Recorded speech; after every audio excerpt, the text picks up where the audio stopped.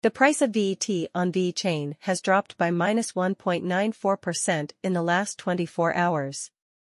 Last week, VeChain was worth $0.016 at the same time. It's now worth $0.016 after going down by minus 0.86% in the last week. In fact, VET has dropped by minus 1.94% in the last 24 hours. There is a small bearish mood in the cryptocurrency market. Long term, though, people are still optimistic, and VET could reach $0.031 in 2024. As of the time this piece was written, there were a total of $72,714,516 VeChain in circulation. The market capitalization of VET is still $1,195,068.436. A look at the VET price. Because of the bears, VET hasn't done as well over the past year.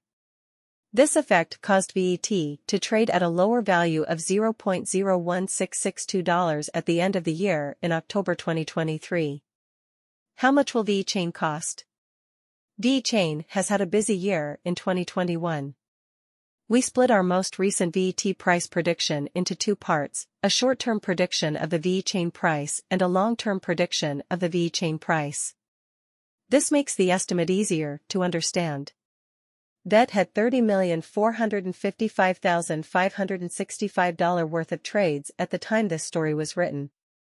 In the last 30 days, VeChain has gone up by 8.16%. The short-term VeChain price forecast for December 2023 shows that the average price of VET will be $0.0098 and the highest price that could happen would be 1 cent. We also looked at the long-term trend and found that the average price of VET in April 2024 would be $0.028, with $0.029 being the highest price that could happen. How much VeChain will cost in the short term? Date average price price range from lowest to highest.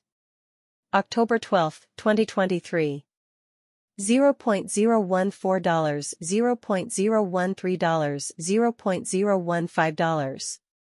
October 13, 2023. $0.014, $0.013, $0.015. October 14, 2023. $0.014, $0.013, $0.015. October 15, 2023. $0.014, $0.013, $0.015. October 20, 2023. $0.012, $0.012, $0.013. October 25, 2023. $0.011, $0.011, $0.012. November 4, 2023.